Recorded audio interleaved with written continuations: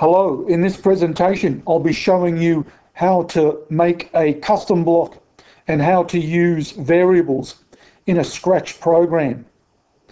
In this program I've got a number of sprites and I've got this Pac-Man sprite.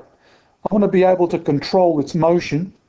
I want it to be able to move up, down, left and right simply by pressing the arrow keys so I want the sprite to respond to those arrow keys. And I also want to be able to use the costumes.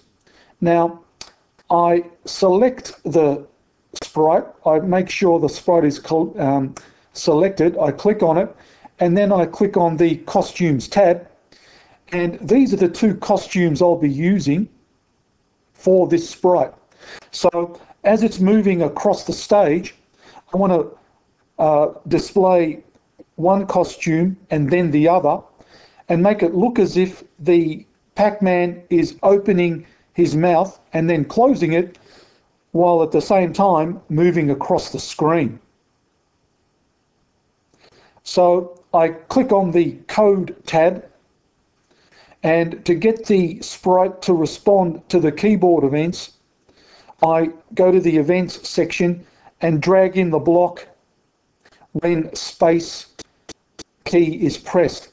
And I choose the up arrow and then I go to the motion section and drag in point in direction, but I change the direction to zero, so it's pointing up.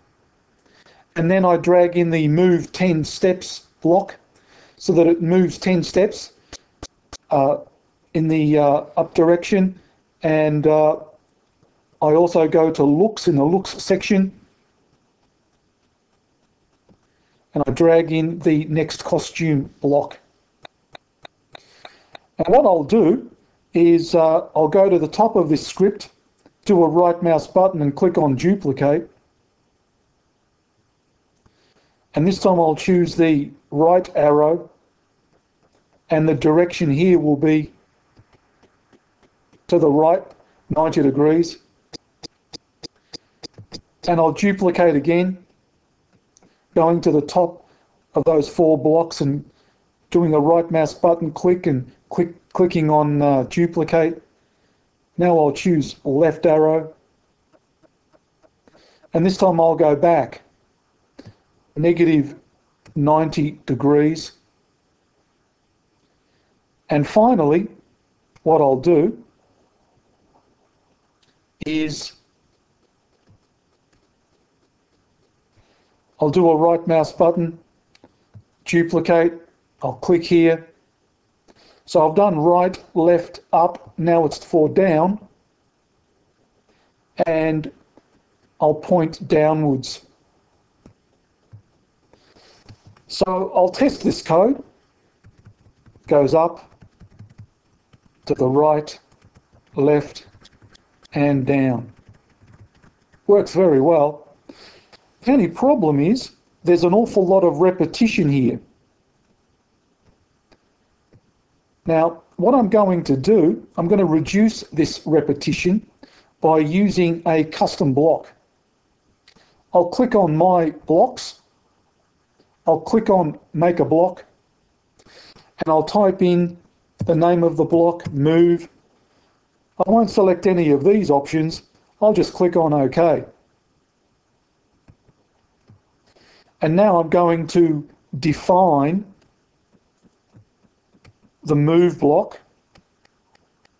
And I'll simply do that by dragging these two blocks right here under the define move block. And I'll get rid of these. I'll drag them to the left. I'll just delete these. And I've got this move block here I'll just drag this to where those two blocks once were.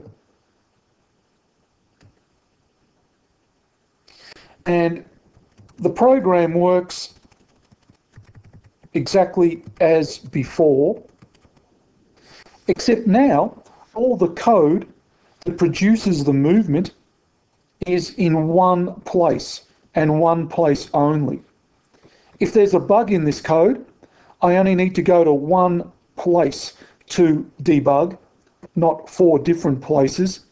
If I have to enhance the code, again, I'll just go to one place to do that. Um, the code becomes easier to maintain, easier to enhance, easier to debug. It, uh, it becomes more readable as well. Now, what I'll do is I'll add some additional functionality now. With Pacman selected, I'll decrease the size to 50 and I'll change the position to negative 210 for X and positive 150 for Y. I'll click here on the maze sprite and make it visible by clicking on that left show button. I'll go back here, I'll click on Pac-Man and I'll be adding some code here. Now what I want is uh, I want to be able to move Pac-Man through this maze. But when the Pac-Man touches any part of the maze, I want Pac-Man to be relocated back to its original position. And to be able to produce that behavior, I'll have to go to control and use the if then selection block. And I'll go to sensing and use this touching mouse pointer, but I'll change it to touching the maze. Now, if the maze is touched, I want the Pac-Man under motion there, I'll find this block. I want the Pac-Man to go back to X is 210 and Y is 150. But uh, I'm also interested in including a variable here. So I'll click on variables. I'll click on make a variable button and I'll define a variable named score for all sprites. I'll click OK. Now, whenever I touch the maze, I want to set score back to zero.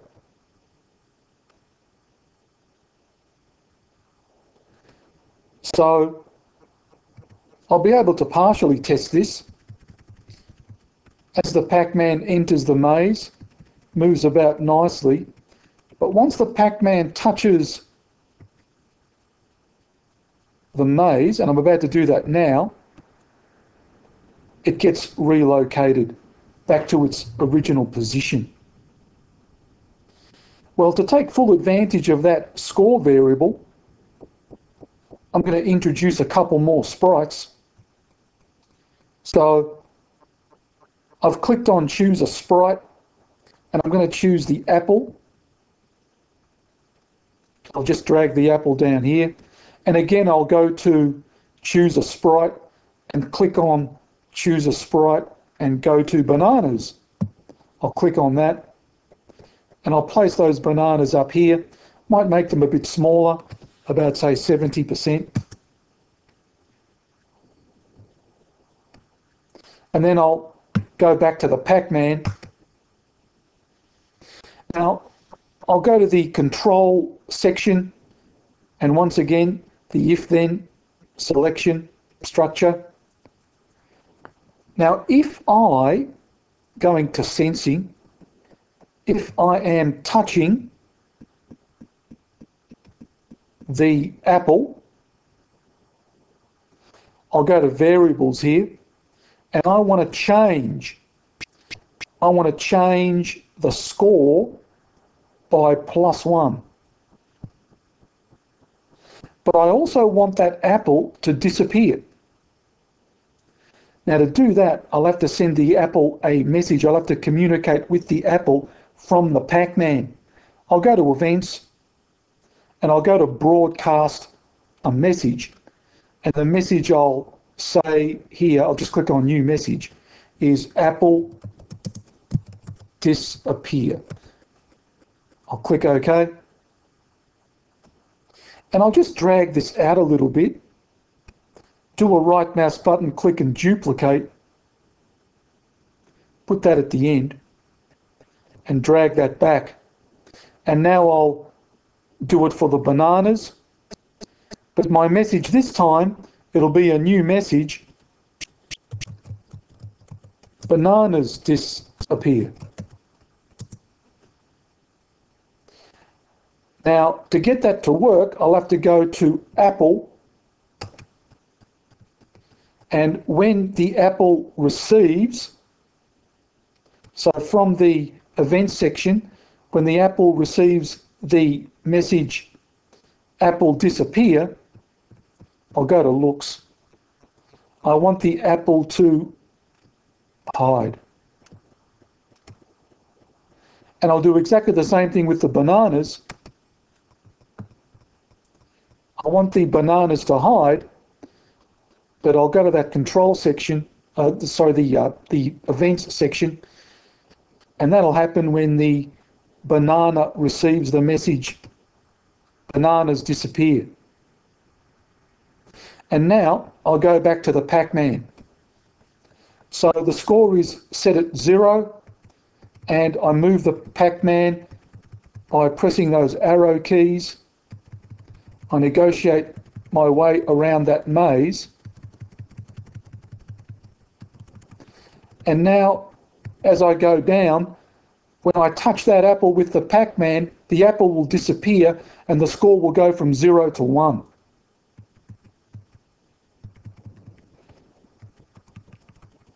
And as I go up for those bananas, when I touch those bananas, they'll disappear and my score will go from one to zero sorry, from 1 to 2. And then, if I touch the maze with the Pac-Man, I'm about to do it now, the Pac-Man goes back to its original position and the score is reset to zero.